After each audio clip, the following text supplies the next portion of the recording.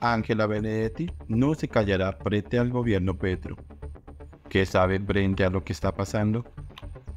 La embajadora Ángela Benedetti pasó de ser una figura que ayudó en la campaña de Gustavo Petro, especialmente junto a la hoy primera dama Verónica Alcocer, a ser una de las más ácidas críticas del presidente.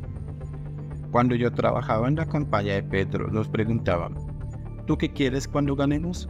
¿Puestos o negocios?